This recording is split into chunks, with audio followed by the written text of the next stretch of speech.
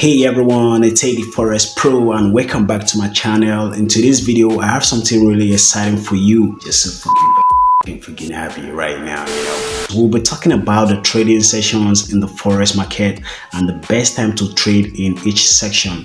I can't wait to share all the fascinating insights and valuable tips with you. Whether you're a long time subscriber or you just stumbled upon my channel, I want to express my gratitude for your support and for joining me on this incredible journey.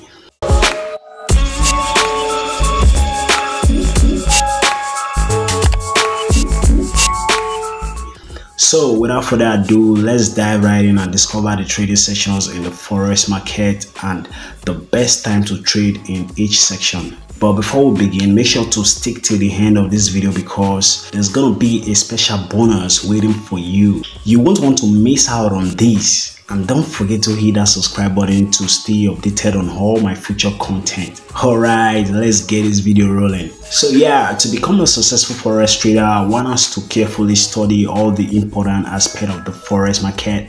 And this includes understanding the different trading sessions and their respective times. The forex market is not dominated by a single exchange but by a global network of exchange and brokers throughout the world. Therefore, trading hours are based on when trading is open in every participating country. There are several trading sessions in the forex market. We have the Sydney session, Tokyo session, London session, Frankfurt session, and uh, the New York session. Sydney section represents Australia and other countries within that time zone. The Tokyo session, also known as the Asian session, represents Japan and other Asian countries. The London session represents the United Kingdom and other countries within Europe.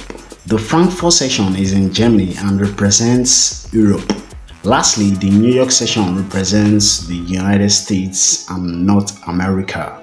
Each section has its own opening and closing time. Sydney session opens at 10 p.m. GMT, Tokyo session opens at 12 p.m. GMT, London session opens at 8 a.m. GMT. Frankfurt section opens at 9 a.m. GMT. New York session opens at 1 p.m. GMT. As a trader, it is important to be familiar with these times. To determine the corresponding time in your location, you need to know the time zone of your country or location and do the appropriate calculations. Let's take for example, Nigeria is one hour ahead of GMT GMT plus 1. So if the London session opens at 8 a.m. GMT, it will be 9 a.m. in Nigeria. All sessions last for 9 hours. So to calculate the closing time, you simply add 9 hours to the opening time.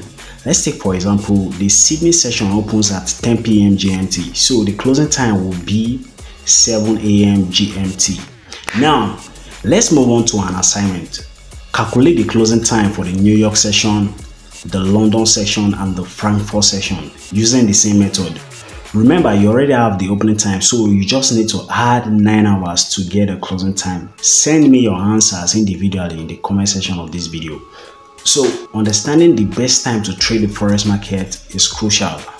Many forex traders don't actually understand this concept because they were not taught the key is to trade the market when two sessions are open at the same time. This means there is more volatility and in the forex market, more volatility means more opportunities to make money.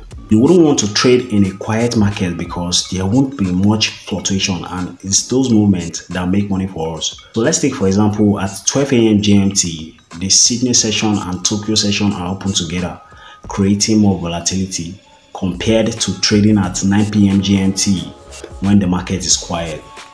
Another example is at 8 a.m. GMT when the London session and Frankfurt session are open and Tokyo session briefly overlaps with them. During such times, you will notice an increase in volatility. Therefore, as a forex trader, it is always recommended to time your trading to fall in periods when two or more markets are open simultaneously. By doing so, you always have an edge in the market. Now, as promised, let's move on to the bonus part of this video. I recommend downloading the Forex Hour app from your Play Store or App Store. This app provides information about the trading hours of the major forex markets around the world. It helps traders know when the different forex sessions such as Tokyo, London and New York open and close. By knowing the active hours of each market, traders can plan their trading activities more effectively taking advantage of liquidity and volatility.